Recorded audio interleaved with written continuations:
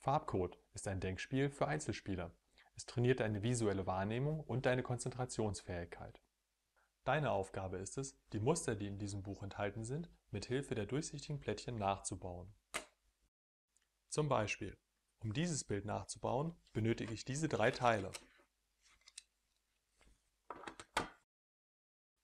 Mit insgesamt 100 Aufgaben mit ansteigendem Schwierigkeitsgrad ist Farbcode ein tolles Spiel für bereits erwachsene Denksportler. Aber auch kleine Tüftler ab 5 Jahren werden ihren Spaß haben.